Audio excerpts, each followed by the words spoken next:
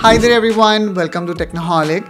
In this video, we are diving into world of Microsoft Office to explore the exciting news of Office LTSC 2024 launch and how it actually stack up against the ever popular Microsoft 365. Whether you have got unique specialized need or you are looking for the ultimate cloud-based productivity, we got you covered.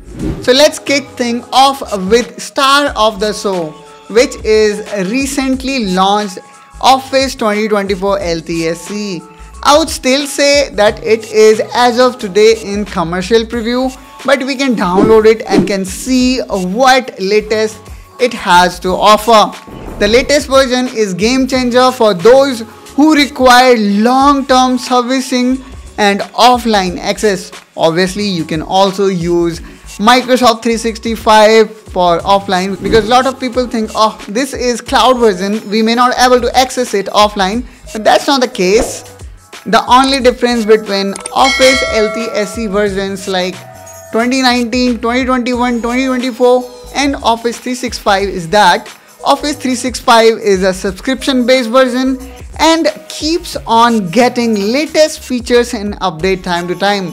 However if we talk about 2024 2021 2019 they are more tailor made for you know regulated device or manufacturing equipment or maybe used in companies where they do not want to connect with external world.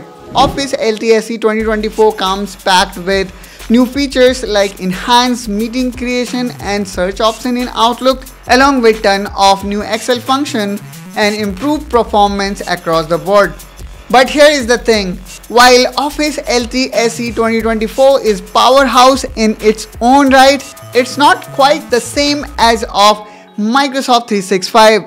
And as I told you before, with Microsoft 365, you're gonna get full cloud-based experience, complete with AI-driven automation, real-time collaboration and top-notch security and compliance feature.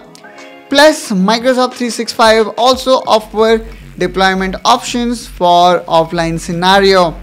So you got covered even when you are not connected. In the end, I would say it is totally up to you which type of version you would like to choose. You would like to pay one time, go with Office 2024. You would like to pay yearly or monthly subscription go with Office 365 or you were aware of that Microsoft Office 365 is even latest than Office 2024? Do let us know in comment down below. I hope guys you find this video helpful informational. If yes then do like and subscribe to Technoholic to see more such content and I will catch you soon with one such another video. Till then you take care and bye bye.